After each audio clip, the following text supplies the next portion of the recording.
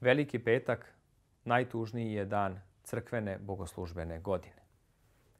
I bogosluženja Velikoga petka prate upravo one događaje koji su se zbili ovoga dana, a to jeste krsno stradanje i smrt gospoda našega Isusa Hrista. Jutrenje Velikoga petka kao bdenije služi se obično u četvrtak uveče kasno – I na ovom bdeniju mi čitamo 12 odeljaka iz Svetog evanđelja. Ova evanđelja nazivaju se strastna ili stradalna evanđelja jer upravo upisuju ove događaje koji su se dogodili. Ti događaji počinju prvim evanđeljem, evanđeljem po Jovanu i to od 13. do 18. glave. To je dugi razgovor gospoda Isusa Hrista sa njegovim apostolima pre odlaska na njegovo voljno stradanje. A završava se ovo evanđelje takozvanom prvosvešteničkom molitvom.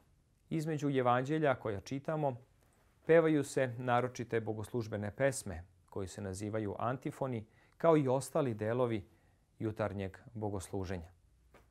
I poslednje evanđelje koje ćemo čitati na bogosluženju, jutrenjem bogosluženju Velikoga petka, jeste upravo onaj odeljak koji govori o spuštanju gospoda Isusa Hrista u grob i o pečaćenju groba. Bogosluženja Velikog petka jedna su od najlepših bogosluženja koje imamo u našoj pravoslavnoj crkvi.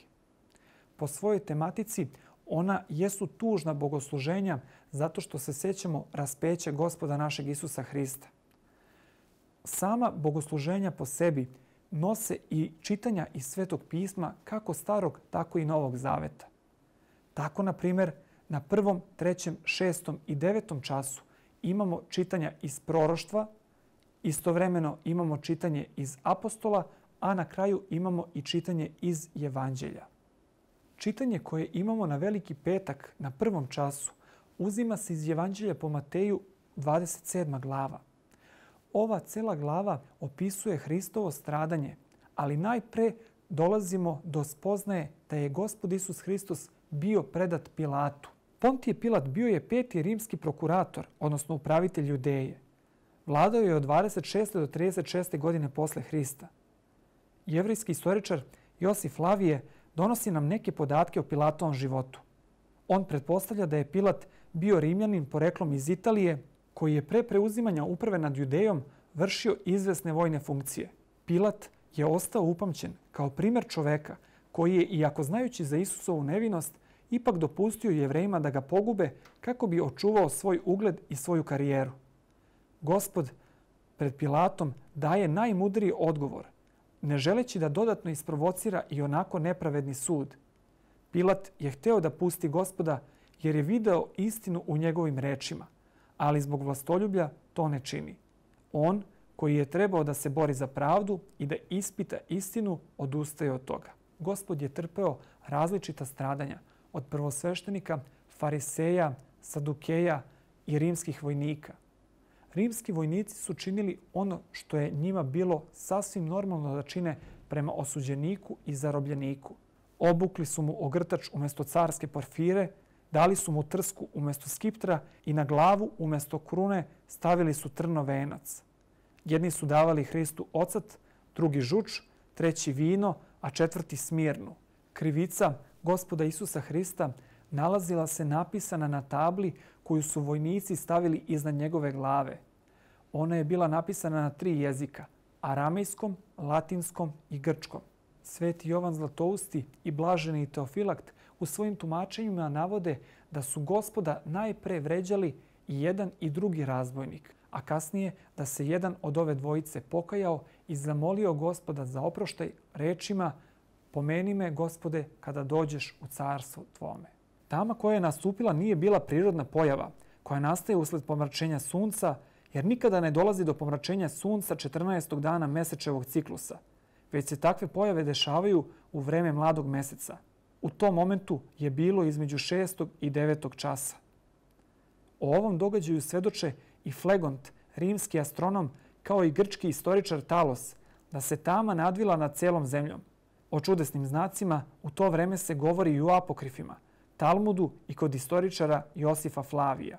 Jedan od znakova koji se dogodio jeste bio i taj da se pocepala zavesa koja je razdvajala svetinju od svetinje nad svetinjama. Ovo možemo povezati i sa starim jevrejskim običajem gde kada bi naišao veliki bes u čoveku, on bi razdrao svoju haljinu na dva dela. U momentu kada je gospod izdahnuo na krstu, svedočanstvo nam govori da je čak i rimski kapetan Longin koji se nalazio pod krstom potvrdio veru u gospoda Isusa Hrista rečima zaista ovaj čovek beše sin Božiji. Sveti i veliki petak predstavlja u himnografiji dan mučeništva i stradanja gospoda i Boga i spasa našeg Isusa Hrista. Takođe možemo pronaći u napomeni trioda da su ovo velika stradanja našeg gospoda. Prema tipiku Jerusalimske crkve ne služi se liturgija pređosvećenih darova na Veliki petak. Dok prema tipicima, tipiku Velike carigradske crkve i tipiku evergetitskom služi se liturgija pređosvećenih darova na Veliki petak. Paskalna tajna se na trenutak zaustavlja pred najuzvišenijom tajnom stradanja, tajnom mučeništva gospoda Isusa Hrista. Roman Melod za Veliki petak je napisao dva kondaka.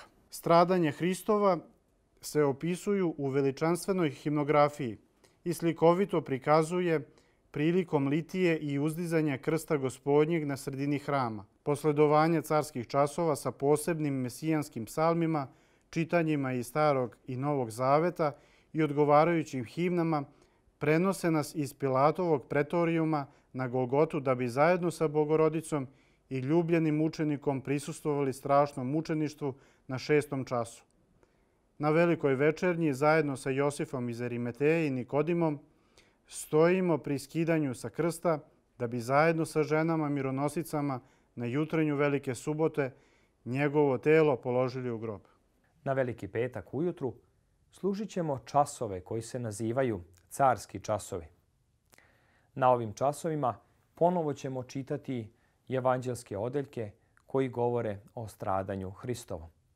Zatim čitaćemo i starozavetna proročka mesta koja se naročito tiču upravo ovog mesijanskog dela gospoda Isusa Hrista. A čitaćemo i odeljke iz poslanica svetog apostola Pavla u kojima sveti apostol upravo govori o spasenju čovekovom i to spasenju preko iskupiteljske žrtve gospoda našega Isusa Hrista.